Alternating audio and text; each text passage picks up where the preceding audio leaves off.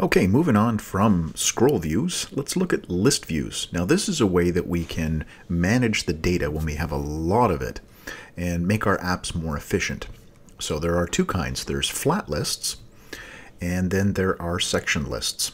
So let's take a look at flat lists. Once you understand those, section lists are basically the same thing, just an extra method inside there.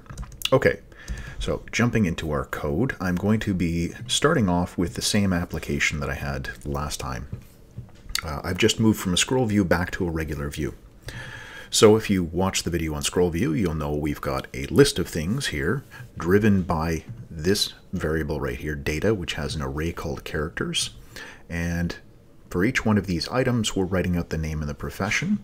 Now, because this is written inside of a view, so this is what my render method is returning, this view.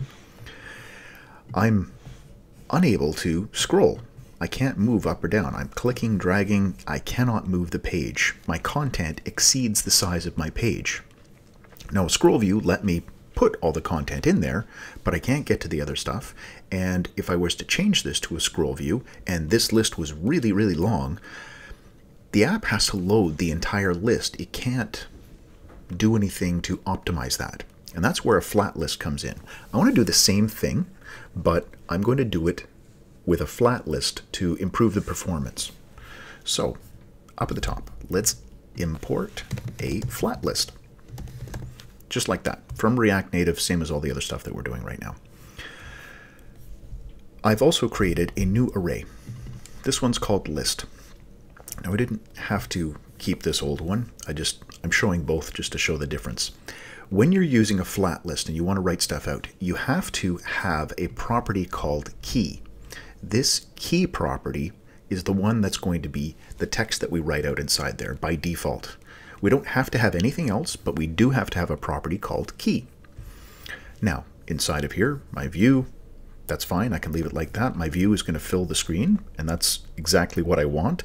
My flat list is going to be the thing that fills the view, but then I can scroll that list. So let's start swapping these variables here. Instead of data characters, I'm going to use list. That's my new one. So if list length is greater than zero, yep, great. I'm going to here list map would be how I switch it over, but I'm not going to do that. What I'm going to do instead is I'm going to let the flat list do the work. So let's remove all of this stuff. So here's my make the list, here's my I don't make the list, I just write out a message to the user. Now inside of here, we create a flat list component. The flat list component has a data property, which is, hey, what's the list you want to load? Well, it's called list, just this variable name right here.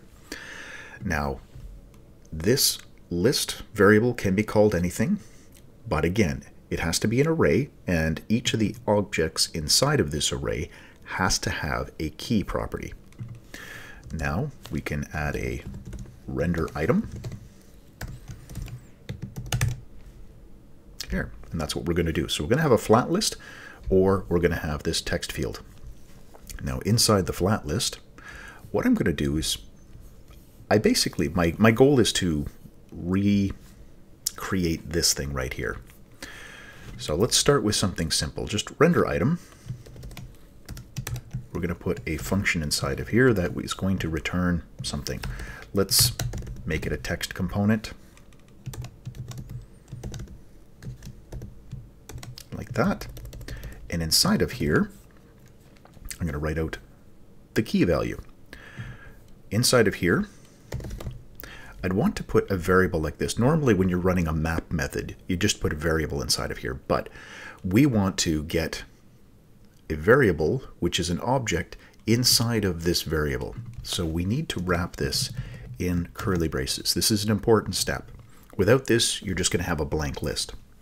So this is going to be representing each one of the objects inside of here. So in my return value, item.key, that will be these values right here. So if I save this, there we go. Here's my flat list. Okay, it's all really tiny.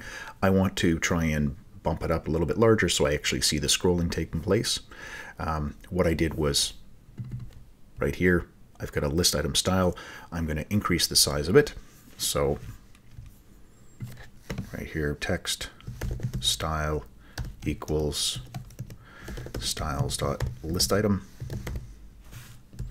Bump it up a little bit. There we go. Now we see it's off the page and I can scroll. Okay, so that's working. Great.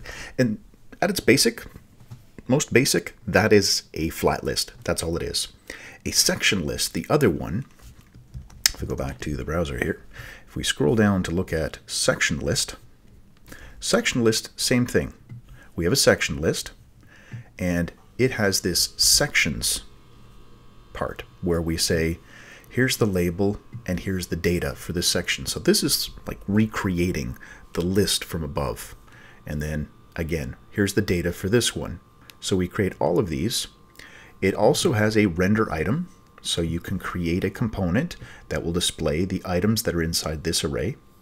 And then there is a render section header, which will let you create another element. This element is going to be the section header for each one of these sections. So these titles right here, you can see section.title, we're writing out the title, and then that's what the render section header does, and render item renders the data part. Okay, so that's section list versus flat list, but this is a really basic example. I want to do something closer to what I had before. I don't want to write just this one piece of text. I want to have other data. So I added this other uh, property here for the profession. I want to write out those values as well. So instead of just text like this, inside of my render item method, here's my function. I'm getting the item. That's each one of these objects. And I'm going to return. Let's get rid of all that extra space there. Inside of here, I'm going to return basically what I was doing here. So I can take this, copy it, move it up into here, and this is what I'm going to return for each one of the items inside of there. Now we could refer to character and build this the same way, but we've got view with some style on it. So that's the container. And then we've got two text elements. And instead of props.name, we're using this variable here, item so item dot key, because we had to have the key, so that's the name that we have to use. And then item dot prof will give me the other one. Okay, so we save that, and here we go. Same as what we did before with the scroll, the scroll view, but now with the flat list, I'm going through this whole list, and the the app is able to be optimized. So that means if this list is really, really, really, really, really, really, really long, we don't have to render all of them. The flat list is only as big as the screen. It is not sticking out below here, it's just a scrollable area. And the app understands it doesn't have to render all of these views, these ones that we're creating right here, not all of these have to be rendered only the ones that would be visible on the screen and maybe one or two more. So as the person starts to scroll, in behind the scenes, what it's doing is it's actually creating these list items for us. So with a really long list, we can get really good performance. As things are moved off the screen, it knows that it can start to get rid of them. It doesn't have to use up all that memory. Okay, section list runs the same way, does the same thing with the rendering. It just has headers in between each of the sections that you want to create. All right, so I hope that helps you out. Hope that gets you to understand what flat lists do.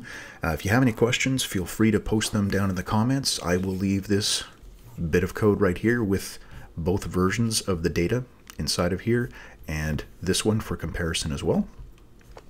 And feel free to experiment with that bit of code. If you found this useful, please share it. And as always, thanks for watching.